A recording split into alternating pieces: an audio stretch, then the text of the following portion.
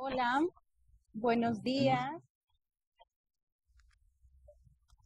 Espero que estén muy bien.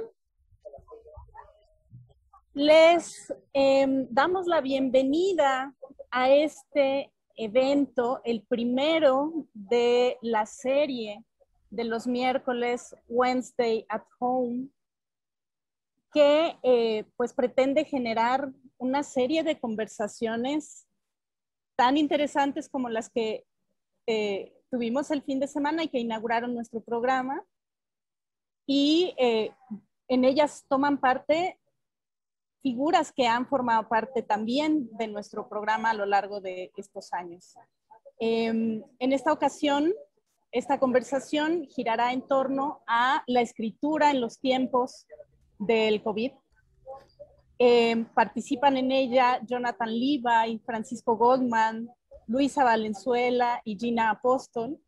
Y para moderarla está la directora de nuestro programa, Magda Bogin, escritora y traductora eh, con sede en Nueva York.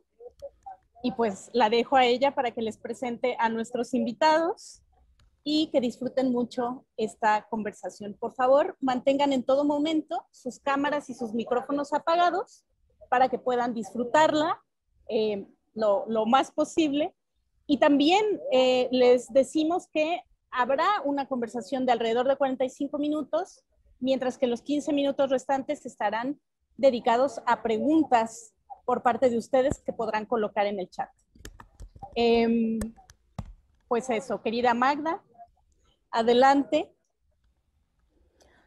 Welcome, everybody. We want to make sure that you all remember to keep your um, audio and video off so that we can spotlight all of today's presenters. I'm waiting for Luisa Valenzuela to be brought up on your screens. I don't see her, but I know she's there. And um, just to set things in motion, I want to say that this panel uh, promises to be very exciting. We have four amazing novelists who are also journalists, all practitioners of both fiction and journalism. And before I introduce them, just by word of preamble, uh, my apology for running this event only in English. I know there are some in the audience that would wish it were otherwise, but we are taking English for now as our lingua franca, as we must at this moment. And so um, everyone on the panel is extremely articulate and will speak carefully and uh, you know articulate well. So uh, for those whose english is a little bit shaky i hope you will get a lot out of this uh, in terms of your comprehension skills. Um, besides that i want to say you know we're not doing this under the volcano 2021 in a vacuum and neither are we oblivious to the great amount of grief of loss both personally and in terms of our ability to ache for the rest of humankind that is still suffering all around us. There's suffering and we don't want to dwell on on the dark side but we are living through something extraordinary whose scope and shape we are still uh, feeling our way towards. But i think one of the interesting things about bringing together a group like today's writers is to um, get a sense of what they're thinking now as we uh, witness a plague. We didn't know we were going to live through a plague. None of us knew that.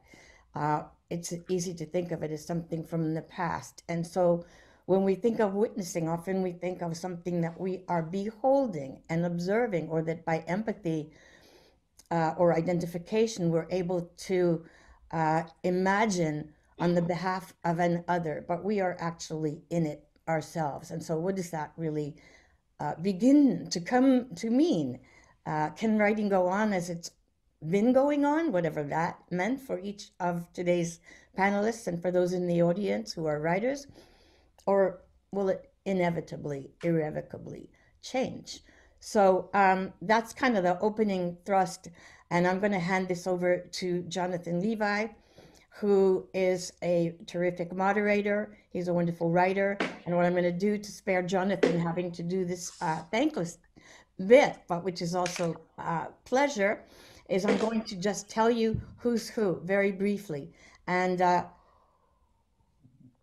as I've been doing in the other events that are part of this month long conversation in five parts, many of you have been to the other two already.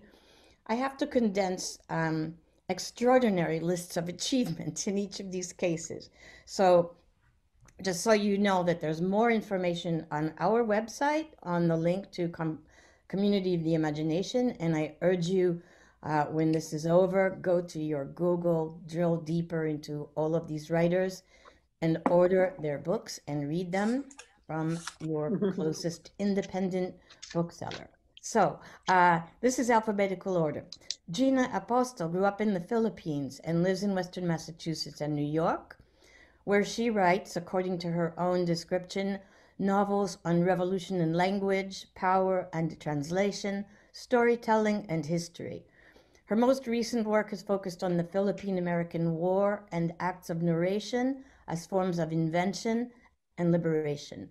Her third book, Gun Dealer's Daughter, won the 2013 PEN Open Book Award, and her fourth novel, Insurrecto, was named by Publishers Weekly one of the 10 best books of 2018. Her essays and stories have appeared in the New York Times, the Los Angeles Review of Books, Foreign Policy, Gettysburg Review, Massachusetts Review, and others. Gina Apostol teaches at the Fieldston School in New York City.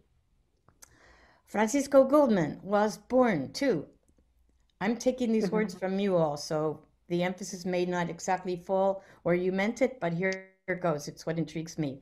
To a Guatemalan Catholic mother and a Russian Jewish father, and was raised between the US and Guatemala. Like the others in today's conversation, he's both a novelist and a journalist. I'm assuming a journalist first, since he first made his name covering the wars in Central America in the 1990s as a contributing editor to Harper's Magazine. He's shaking his head, so I mean, this is obviously slightly off, um, but I'll just plow through because um, this is really interesting. His 2007 book, The Art of Political Murder Who Killed the Bishop, a nonfiction account of the assassination of Guatemalan Bishop Juan Jose Gerardi Conedera by the Guatemalan military, was recently released as an HBO original documentary executive produced by Academy Award winners George Clooney and Grant Heslov. Mm-hmm. Author of five prior novels and two other works of nonfiction, Goldman is, and now you must say this is correct, a regular contributor to The New Yorker, writing in depth about Guatemala and Mexico, where he lives, during what seems to be a growing half of every year.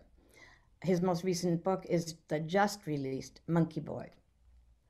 Okay, Luisa Valenzuela was born in Buenos Aires, where she still lives, although when not in quarantine, she's known for her indefatigable wanderlust.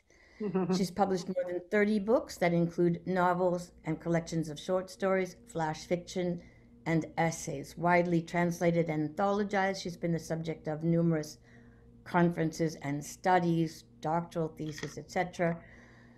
Major prizes include the Premio de Cultura 400 Years from the University of Córdoba, Argentina, the Gran Premio de Honor de la Sociedad Argentina de Escritores, the Premio León de Greiff, awarded in Colombia, and the Premio Carlos Fuentes for Lifetime Achievement, awarded at the Guadalajara Book Fair in 2019, where Gabby and I were in the audience.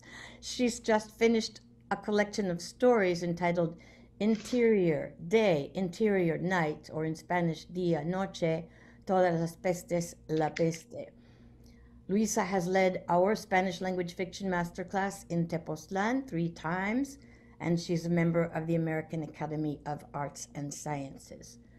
And now, Jonathan, my fellow New Yorker, I present to you. He's the author of two novels, Guide to the Perplexed and Septimania, as well as many plays and opera libretti that have been performed in Italy, the Netherlands, Georgia, the country, the UK, and the United States. A founding editor of Granta magazine, Jonathan Levi has also written political and cultural journalism for the New York Times, The Nation, Condé Nast Traveler, and the Los Angeles Times Book Review. He currently lives in Rome and he is also a peripatetic and directs the Gabo Fellowship in Cultural Journalism in Cartagena, Colombia, and has led a variety of workshops at Under the Volcano in Tepoztlan, including jur- journalism and memoir going back to 2014. So I'm going to vanish from the screen and hand it over to Jonathan. Uh, one other word to the audience.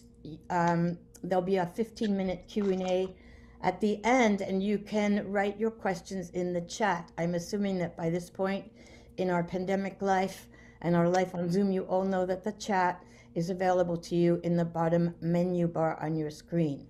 So questions will go through the chat and we will field them and turn them back to the writers for the final 15 minutes of our hour together. Bienvenidos, bienvenidas, welcome everybody. Enjoy the show. Thanks, Magda. Well, I'll tell you, I, am extremely happy to uh, uh, to see my three friends here. Gina, I just met a few minutes ago, but I feel like I know her a little bit, uh, having read her wonderful novel Insurrecto. And uh, Francisco and Luisa, uh, Francisco, we've shared one evening together in Tepoztlan at La Luna Mesli. Uh, but Luisa and I, I think, have hit just about every watering hole uh, in the place. And I think that if I can just start off with a word of sadness here, the sad part of this is that we're meeting uh, here on the screen as opposed to you know, in the wonderful pueblo of, uh, of Tepoztlan, which Gina, one day you're going to have to come and, uh, and join us there. I mean, I think that little video at the beginning just gave you uh, a little bit of an appetite uh, for that. But also because Tepoztlan is not just a place, but it's a place where our community uh, has grown over the years. A community of new writers, of old writers um, have come together. And one of the hard things I think about tonight and about a lot of these type of events is that we have to imagine the audience out there. I mean, I think one of the reasons that writers, we writers who work so much on our own during the day, one of the reasons we like doing these type of things is to have real living people out there in front of us so that as we're gabbing about and saying whatever gassy things we're saying, we hope that there's some kind of buzz coming from the audience you know, back out to us. So I'm asking in terms of using the imagination to the audience out there, to all of you out there listening who we don't see, uh, we hope that you can send us some of your buzz, you know, our way, and that, can be part of our imagination uh, as we start to talk about what it, what writing is in the time of uh, pandemia. But let me start by, um, since we are in four different places, um, can you tell me a little bit about uh, about your place now, about where you are in your place, and what it feels like in this uh, in this climate, in this day of pandemia? Maybe starting with you, Gina. What is it like up there in uh, in Western Massachusetts for you?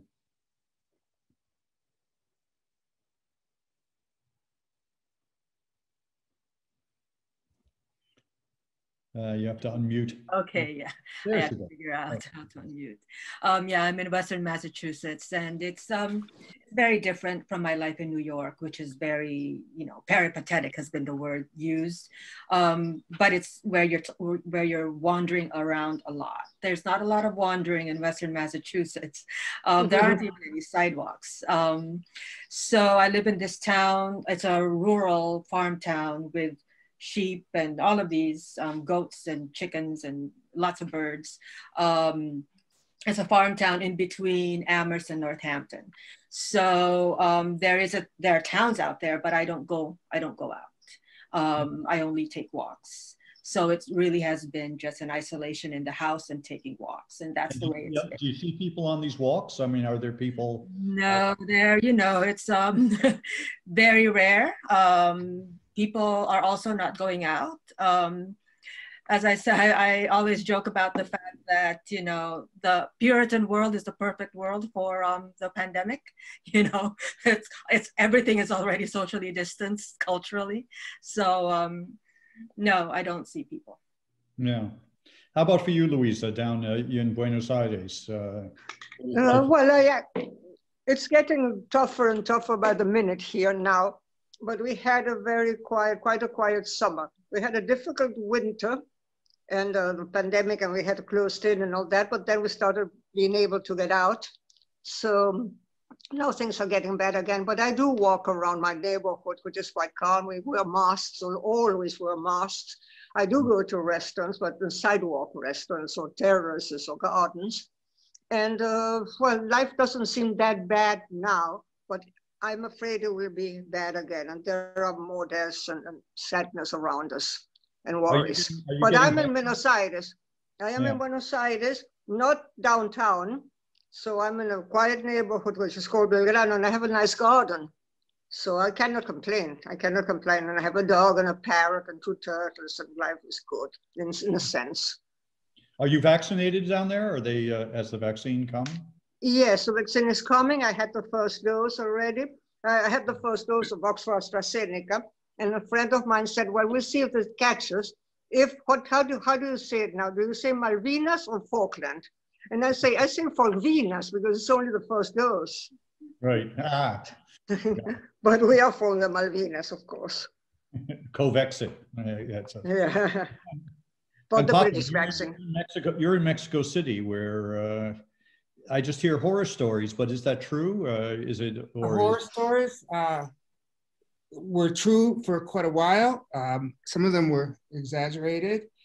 Uh, well, you can't really exaggerate this level of suffering, really, you know. But I, but I actually sometimes saw what was actually happening in Mexico City depicted in a way that seemed to have um, political motivations to try to exploit the suffering. Well, they do have, you know, we could talk about that another way. I mean, this was obviously hit very, very hard.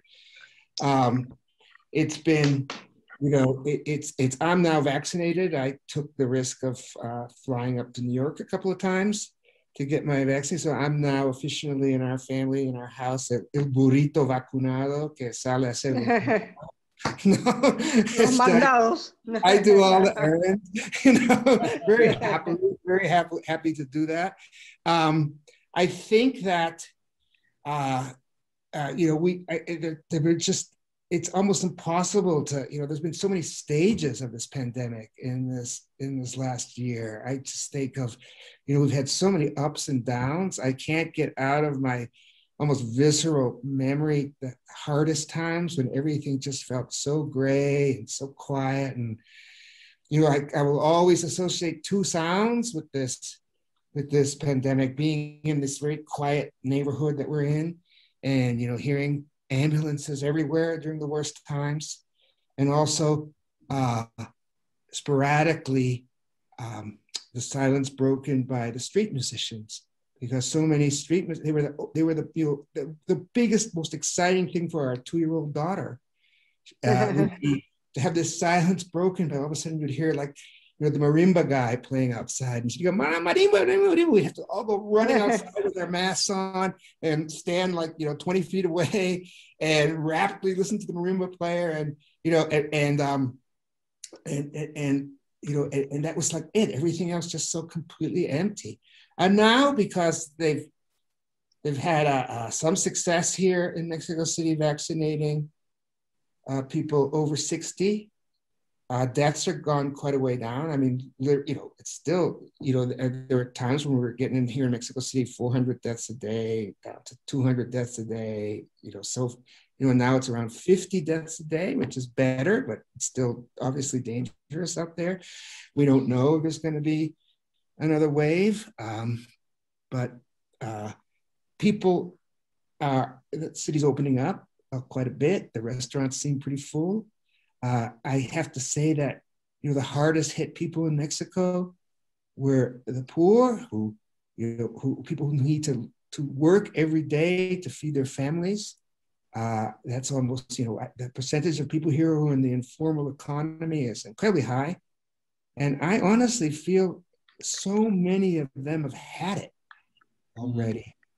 You know that um, well, there, there, there's a bit of immunity out there in the street life right now. You feel like the people you see out there, a lot of them have already had it. You know? So let me let me ask you, putting this within context, because uh, Gina, you've spent a lot of time in the Philippines, which uh, has its up and downs.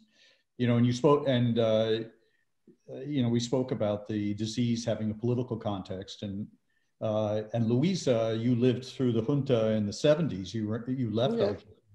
and went to the United States because things were so bad. Uh, and Paco, you uh, you wrote a lot about uh, about the wars in Central America uh, during the 1980s. Um, is this uh, does this epidemic feel like, in a way, it's a tragedy of privilege that for those of us who haven't lived through wars or through uh, th- that kind of political terrorism, that this is this is something very big, but is it worse than what um, what you lived through uh, in those times, or is it different? How does it? Uh, it's really different.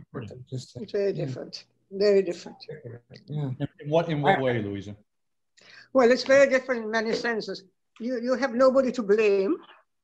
Um, you cannot fight it in a way. And we had some measure of fighting the junta, which was, I, I think it was more scary. It was even worse in, in many senses. But then um, didn't reach so many people. As Francisco was saying, the poor are very, very much uh, uh, harmed by this, and they were not by the by the military situation as much. Uh, so I don't know what to say, but it's it's absolutely different. I don't know which one I would choose, but I think if I could choose and the time would be limited, I would choose a pandemic because it is a more universal. You, you have the feeling that, well, it's something that's not happening to you in a sense that you could have avoided or that you could have done something about it uh, in one sense. And, and human cruelty can be terrible.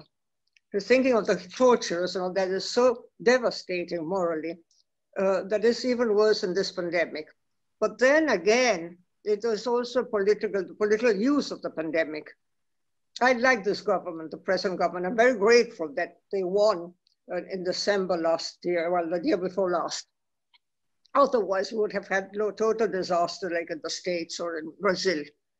But then this opposition is doing such a, such much harm, going against the vaccine, going against all the measures of confinement, all the good measures that can be taken so as to only to go against the government, not, not knowing, not, not realizing that they're going against people's health. No? So mm-hmm. they're very different, but there is always a use, a, a, political use of whatever is happening in the world. People manage to get a political use out of it, which is mm-hmm. very scary.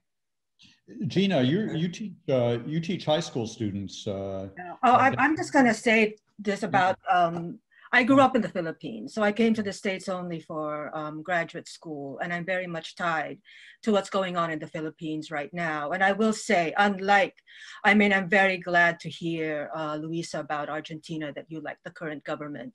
And I do remember, let's say, for instance, in the 80s, when the Marcos dictatorship um, had to leave because of, because of, of student, uh, because of revolt, because of rebellion. I remember mm. at the time, the there was also the fall in Argentina. So I'm really glad to hear that right now Argentina is good. But in the Philippines, it is completely fucked.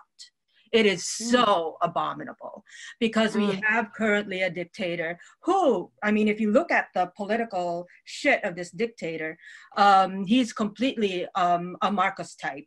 He, his father was a Marcos um, uh, official, even though his mom was a Cory person. So she was more of a, a liberal progressive. But this person, one terrorized Filipinos in 2016 around the same time the, as the Trump thing by killing so-called drug addicts. Um, and then has proceeded to, at this point, um, he's been killing activists. He's been killing the communists. He's been killing the peasant organizers. He's been killing the labor organizers. He's been killing climate activists, climate activists in my town, because my town is that was killed by the super typhoon. Uh, mm. um, and now he is using the pandemic um, oh, to kill, you know, people who go on curfew. And so the, the way he is stabilizing his regime is through complete terror.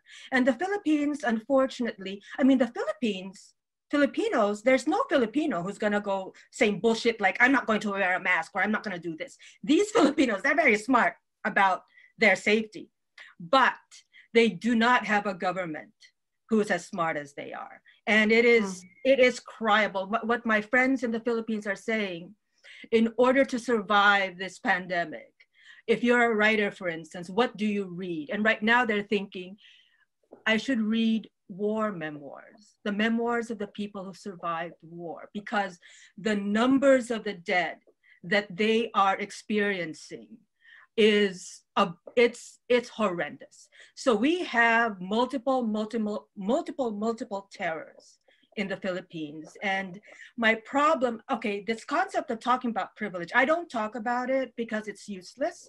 Um, you know, if I talk about it in public, if I, you know, my own privilege here in Western Mass, I never, I never bring it up um, because one, guilt for me has always been a useless, useless uh, feeling. I never, and I don't feel guilt. I don't feel guilt about being able to wander around with the sheep and the and the cows here in yeah. Massachusetts.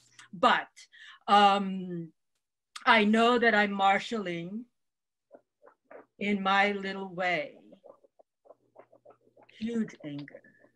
And I'm hoping one day I can use it. I don't see myself being able to use it now. Um, mm. I, I find that as a writer, I need to step back. And right now, the Philippines is very dire. It's one of the worst in Southeast Asia right now, which shouldn't be the case because you have a very, very smart citizenry. Mm-hmm. Are you read? Are, I mean, since you're all journalists and have been journalists at various times, do you feel that the political stories, I mean, that you talk about with such passion, uh, there, Gina, uh, are being reported, or is everything sort of subsumed to the medical? Because I look at the uh, what you've just said about the Philippines. It strikes me I haven't seen anything in the New York Times in months about the Philippines, and you know we generally see very little about South America uh, in the New York Times, right. but probably even less. The New York Times, there's a New York Times international editor who's always asking me for stories, and I keep telling her, I'm not in the Philippines. Mm-hmm. Get the Filipino writers. Mm-hmm. And I mm-hmm. give her all the names. Yeah. I mean, uh, how do you feel about that, Paco? I mean, do you feel that uh, in the story, in terms of how you know, this, the, the story couldn't be more political? I mean, I, you know, the the, the, the most shocking uh, element of the whole pandemic for me that I first kind of really experienced was what happened in New York. Uh, I got out of New York, you know, it, it, it, towards late March. But my wife has, is, is who's, who's uh, me Mexican, obviously, uh, has many, many friends in New York City, right? Mostly Mexican immigrant, Latin American immigrant uh, women, many who live with their families and so forth. That whole community was so devastated.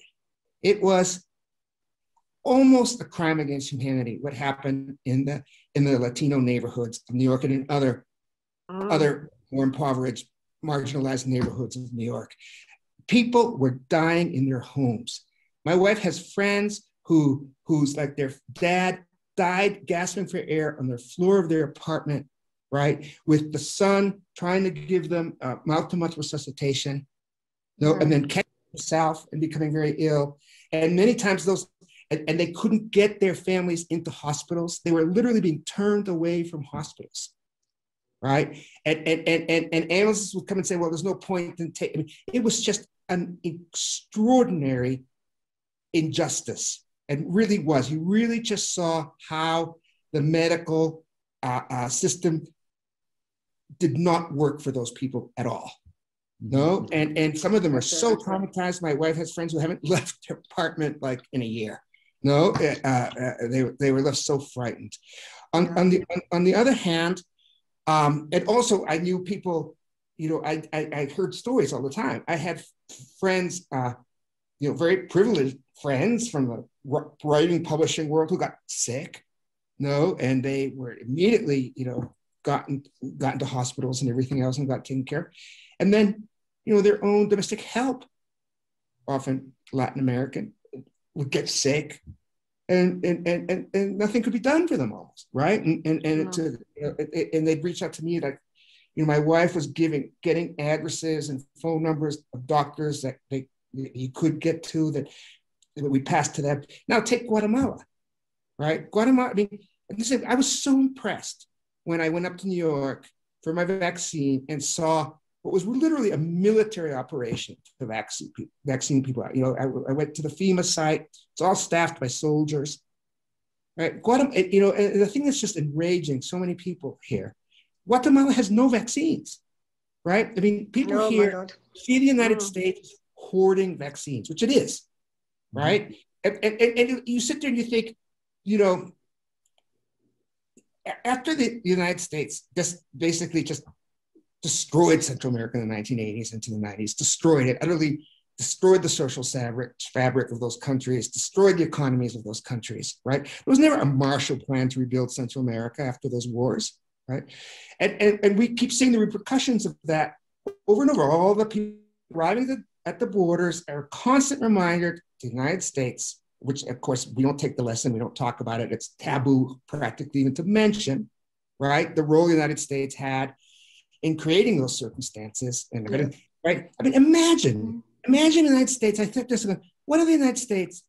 You know, Mexico can handle its own vaccine situation. Mexico you know, you know, actually does not have, you know, is, is doing a, as, as good a job as it can with very limited circumstances to vaccinate people.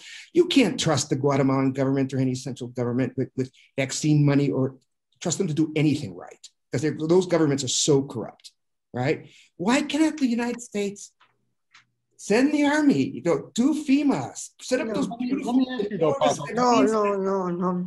As a journalist, as a, you know, normally right? go out as no, no, no. Go out and you would interview people, and you would you would go on to site and you would write a, write these stories up, you know, based on um, on actually doing the footwork and pounding the pavement and going, you know, are you able to do that? Uh, I mean, you said Gina, you can't go to the you're not in the Philippines, but can anyone in the Philippines go and actually report on these stories, or is journalism now becoming a question of you know, I'm not I'm not denying your outrage, uh, Paco, but uh, you know, are we are we just relegated to writing uh, journalism of outrage, which really is uh, you know opinion pieces and not reported pieces? You know, has has the pandemic affected us that way? The the Philippines, by the way, has one of the highest cases of journalists being killed. So I will say this mm. about the Philippines. And from the, uh, this is something that people don't really understand about a country that has been so oppressed, both by its own people and by the, um, the foreign, the, the occupation, imperialism, et cetera, et cetera, is that this is the people that has long been inured uh, to suffering, therefore they are resistors. And so there are everyday heroic people doing their work. There are journalists in the Philippines. I read them. Um, many of them, especially if you're in the province, if you're too vocal, you die. I, I think in Mexico you can understand that. You know, the it's the people in the city, the journalists in the city, they can do their work. The people in the provinces who are doing this very risky but important business of reporting what's going on in the towns, they don't have the protection of, of money and power that the city journalists have. So they're the ones who are dying. So I, it's um, they are there. They're doing work. So it's not just a question of having the masks. It's a question of just being afraid of being shot by. Uh... Yeah, um, and uh, a question also of a huge, huge, huge um, venality in this government. It's a venal government. Um, the corruption regarding the vaccines, for instance, they they have a strong connection. He's really liking China. The current dictator is really liking China and uses. Um, well, they have a connection. Money. It's money. Mm-hmm. Now, I have a question. Sorry. What about yeah. pen? Is pen Filipino doing anything? Is this a good pen? Or no, is it a pen that is? the, current, the, current, head of pen uh, yeah. is not from, is he, I don't know what's going on with him, but he is very much. Um, I don't understand the mindset of a person who might be.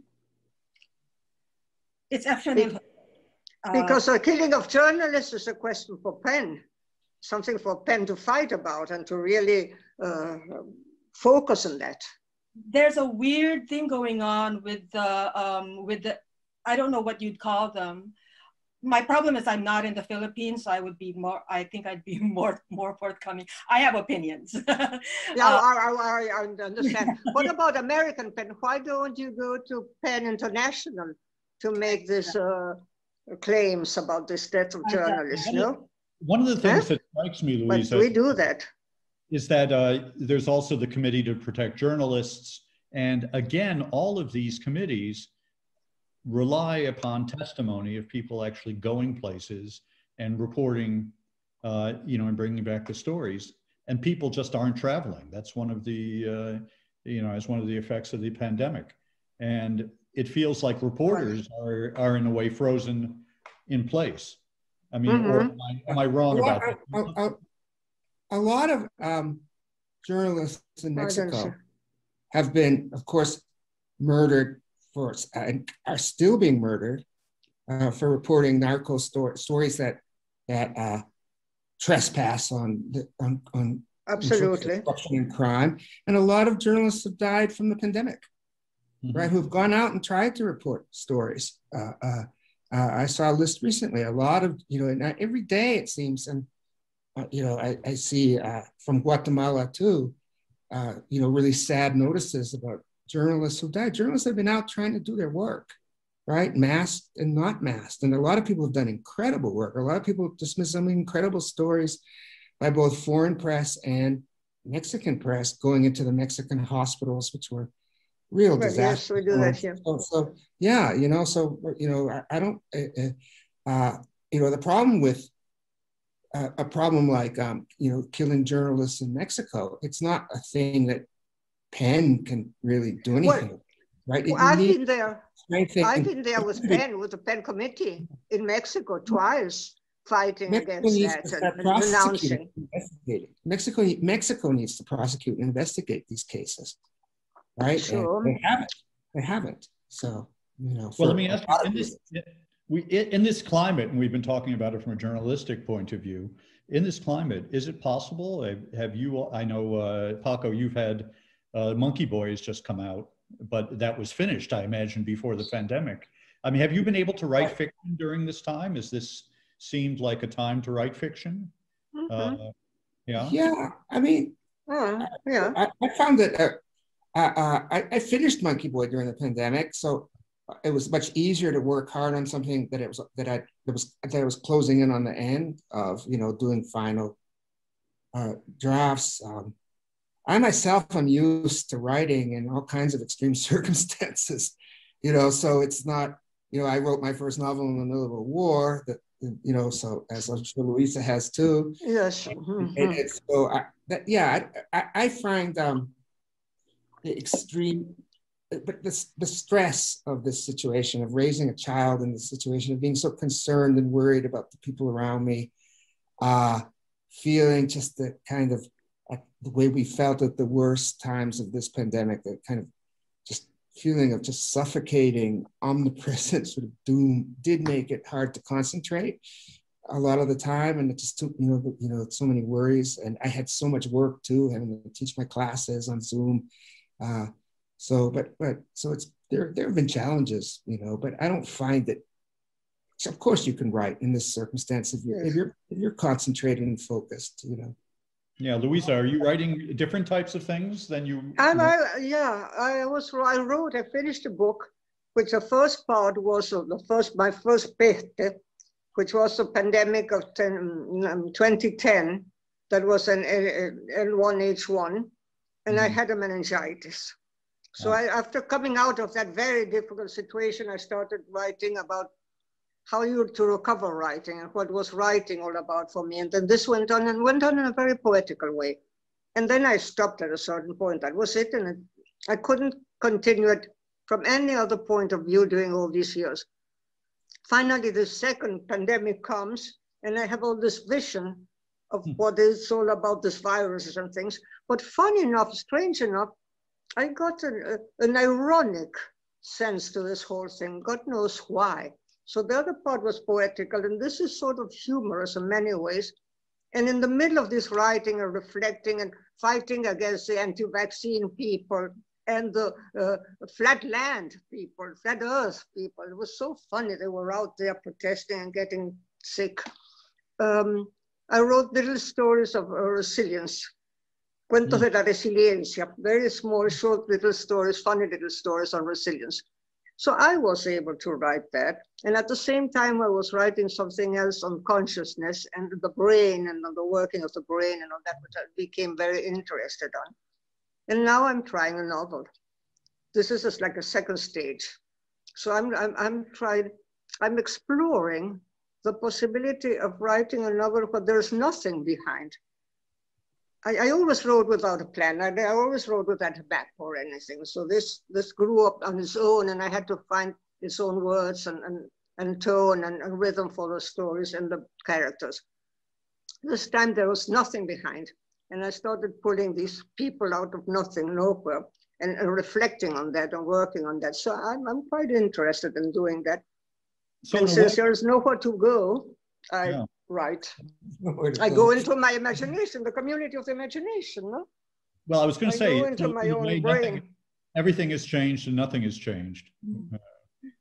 Mm, I wouldn't say that. Yeah, I think many things have changed in the I way it's not a gato pardo it's not a gato pardo situation i'm afraid things i was, I, I was hopeful i'm sorry gina just a second i was hopeful last year i'm not hopeful that any longer alas that we would come out wiser and, and finishing with wild capitalism capitalismo salvaje and finishing with that horror of the land and, and the, exploiting the land and caring of all this. And, and, things are getting worse and worse, and the millionaires are getting more millionaires, and the poor are getting poorer, and everything is total disaster.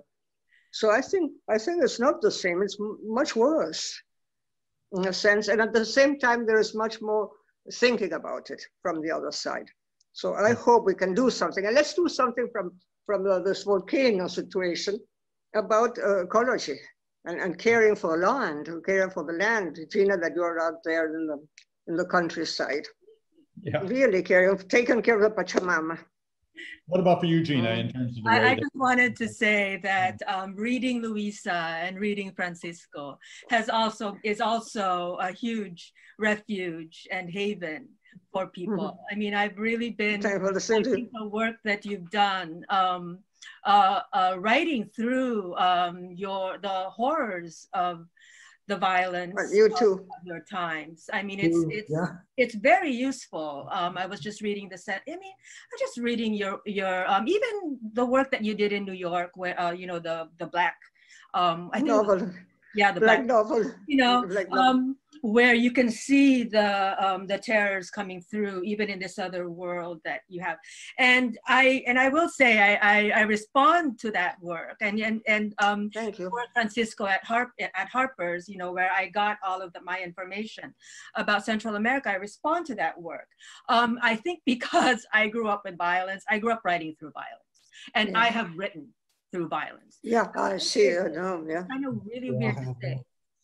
I have I have always written out of pleasure, which is a really weird thing to say, given yeah, well, that I've grown up with.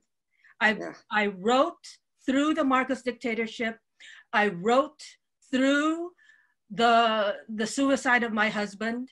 I didn't write mm. when he was killed. I, I when he died. I, I I didn't write for seven years, but I managed to get back to writing mm-hmm. because I think writing has been, for whatever reason, in my body, a way to survive because I grew yeah. up.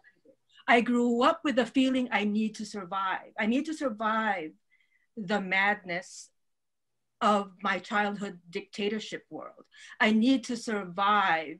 Um, yeah, I, I think I needed even to survive my huge disappointment with the Philippines after the rebellion of 86. I was yeah. hugely disappointed with what happened to the government. It was not the government that I felt we deserved. Um, so I need to survive disappointment. I need to survive disillusion, and writing has done that. But I do it, and I will say this: you talked about irony and and comedy. Yeah, yes. Pleasure. We need that. I don't write satire. I do not write satire. People say I write satire. I don't believe I do because I don't have that I think the thing about satire is that it requires a coldness that, in my view, I cannot and will mm-hmm. not. Mm-hmm. So I've written, I, I did write during the pandemic. Um, I finished a novel, very different kind of novel, but it was a very familiar feeling to be writing under horror. Yeah. Yeah.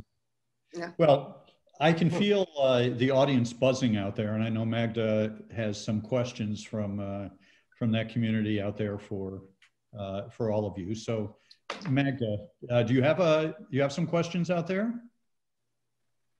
Well, there's a call for questions, absolutely, and I the comments are are flooding the chat. Um, it's it's clear that people are are kind of stunned by the the energy the power, the analogies is what I'm picking up, uh, especially um, because all of you have spoken of war and violence as, in a sense, uh, the parallel experience or an analogous experience, um, maybe greater, maybe lesser to the pandemic. But it's clear from from all of you, uh, from from the comments that I'm seeing as well, which reflect this the sense that this is epic. And um, I guess um, I'm, I'm waiting to see actually some very specific questions that look like questions. And until I do, um, I'm going to throw out one of my own, which I hope will spark some others. And um, I think it's something we're all grappling with. How much of a, what the French call a recul, how much uh, of, a, of a distance or an aftermath might it take to uh, write something that is more than uh, a snapshot, a record? Not that that's not also urgent to do, to document what's happening in the now. But I think, Francisco, you talked about it's, it's almost too soon. And I just wonder, you know, uh, you've, you've all been writing, so you're obviously writing something but do you feel that there's work to be written, fiction that will emerge uh, from you or others uh, looking at this this experience? Well, it's all part of a whole, as you just said, right? If it's if it's the pandemic, you know, war, injustice, climate, um, so you know, it, it's all part of the same world we're inhabiting. And I think that we all are conscious uh, as we come out of this pandemic. I think the one thing we're all going to know, which you know, we may have known before, but in some way we're all like now we're unified in our apprehension of this, is that we're all very vulnerable. The world, we live in a very, you know, these are times that make us feel very vulnerable. And the world feels very damaged and and all humankind, you know, seems at risk in a different way. And I think that will inform our writing in different ways uh, as probably as we go forward. It might make you just, you know, want to be more tender in your writing. It might make you want to be more, you know, attentive, as, as Luisa says, to to private forms of resilience. It might make other writers more, you know, you know, more outwardly political. I think, you know, it's not just, you know, writing. I think that the community of writers are going to respond to this in all different ways, obviously. You know? I myself don't feel any pressure at this moment to write a pandemic novel. I'm, you know, already working on things that started. Hard, yeah. yeah. Yeah, it's just. No, sorry. No, no. Go ahead, uh, Jonathan. No, no go ahead. In general, I think that writers, you know, write from whatever their little corner of the garden is, and uh, it may have some type of resonance uh, in a larger way. You hope that somehow, you know, your little story is going to have a bigger uh, sense. But I don't know many writers who go out there trying to write the bigger sense, uh, because usually that turns into uh, that's propaganda or it's, uh, um, you know, they're, you know, they're they're tilling their corner of the field. Um, I mean, give you an example. I had a I had an opera that that premiered a week before all the theaters closed down in New York. And uh, so I spoke to the composer about writing a companion piece. It was a little one act opera for a man. And I thought, well, I'll write a companion piece for his wife. And I imagined that she would be a, a trauma doctor dealing with COVID patients. And yet, as the story of the of COVID kept going on, I thought, I've got to add this, I've got to add this, I've got to add this, and I finally realized, no, I don't. I've got to write, you know, what the story is of a person in this position, uh, you know, with her husband, with her daughter. It's the same as writing anything else. Uh, you know, you hit it small and hope that it has a bigger impact when someone else hears it. I, I always wonder where those stories come from at this very deep level. Because one starts with a purpose and then this whole thing turns on on you and it goes on on its own. Uh, and, and that is a great part about writing when it really is working. And I was wondering when, when Gina said she wrote for survival, I think I write to try to understand. I don't understand anything if I don't write it. Then I understand a little bit, not much, but then I start seeing things clearly. And uh, there are those things that are getting into some perspective. So perhaps a need to understand this pandemic will come afterwards. If, if we ever get over it and then it, it yeah. seeps down and it decanta, and, uh, and then you will be able to, to bring it out from a very different order, in a very different position, not a direct mm-hmm. view of what is going on. No? I think, for instance, just in response to that, I was thinking about, for instance, the way Camus responded to his experience of war, which oddly, he talked about a plague. You know, so it wasn't mm-hmm. war, but it was La Peste. But so, it was a pest. It was, again, this, this word. I, I like pest, I don't like plague.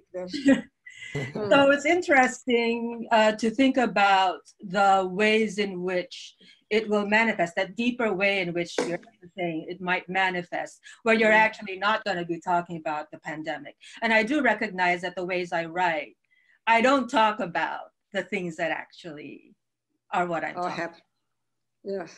I, I was telling my grandchildren a year ago, more or less, a little over a year, less than a year ago. I said, well, you're lucky because all this that is happening, I won't ever be able to tell it to my grandchildren because they're here and they're living through it. So, so you will have your grandchildren be able to tell this very weird times we are living through. And they said, weird, what is it weird all about?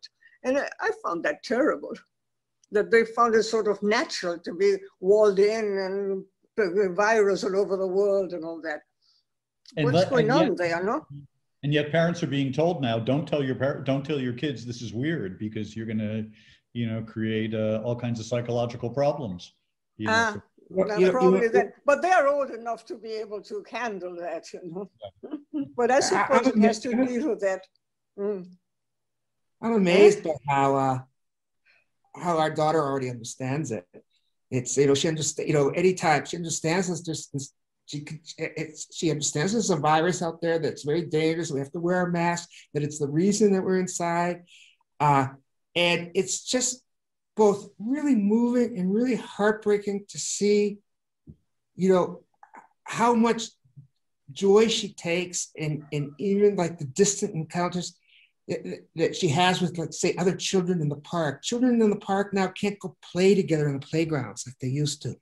But they get but they see in the park and they stop and they look at each other and they call to each other and they and they ask each other their names and say things to each other from a distance. And they get such joy from it. And i you know it's going to be to me such a, an extraordinary thing to see this pandemic end and see her finally be able to go into the community of other children and hug them and play with them and it's you know it's it's it's it's a uh, Bildungsroman happened before my very eyes, you know, growing up in the pandemic and growing up out of it. It's uh, something I feel privileged to be able to witness.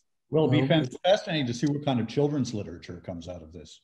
Uh, yeah, there's already some. I brought back a book from New York that explained yeah. the pandemic to children. It's like, why do we have to be inside?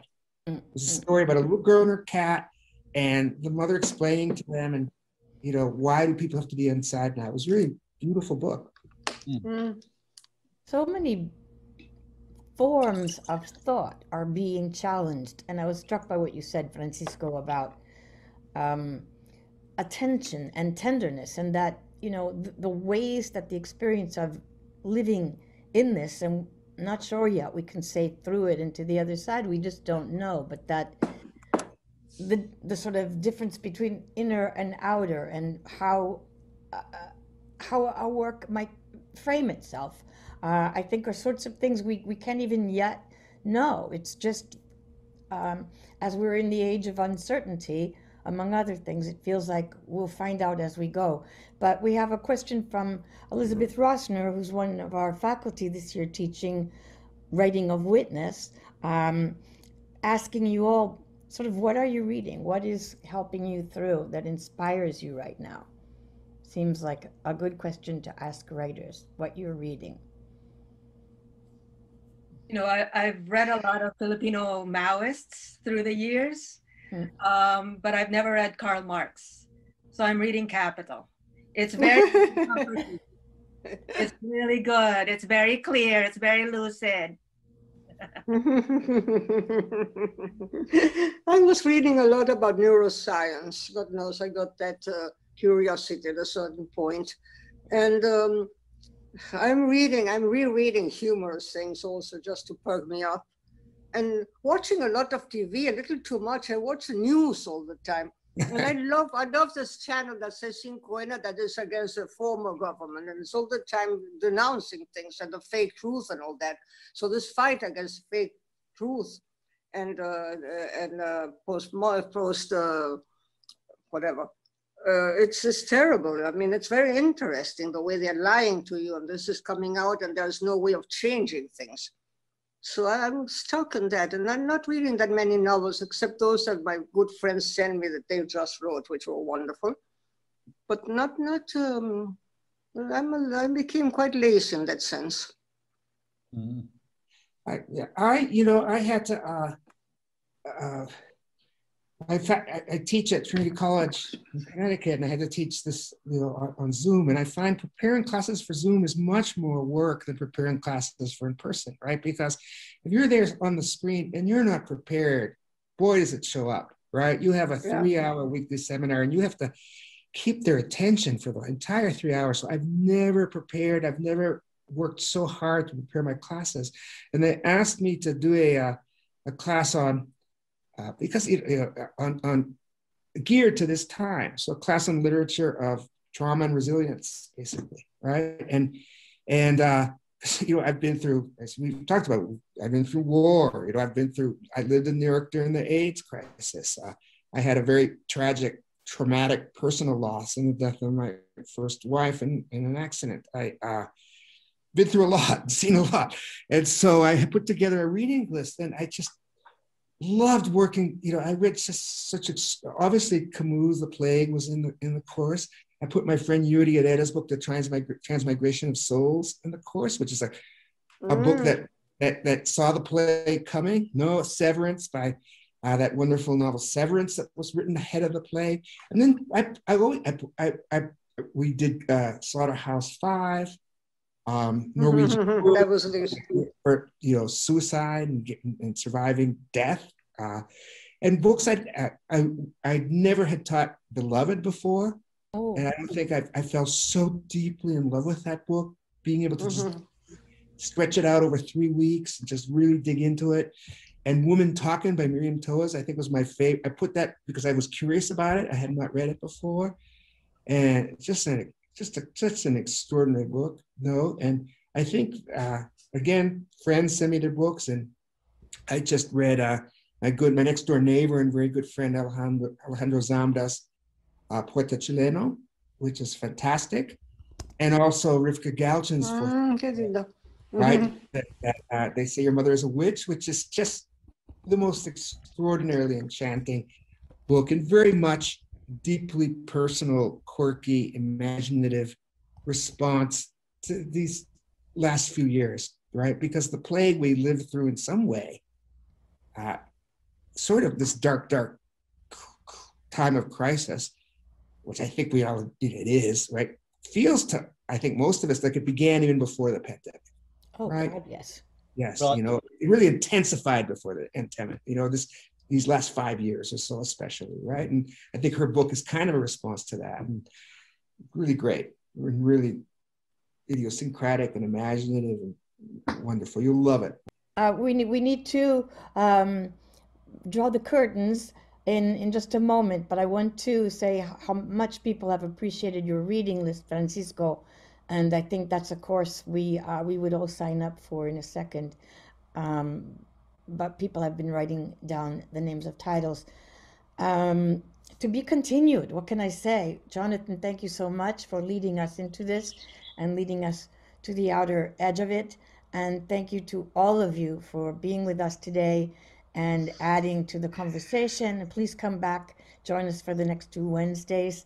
And um, Gina, we have to get you to Tepoztlan. Goodbye, everyone. Thank you to our wonderful audience, and we will see you uh, next on another Zoom.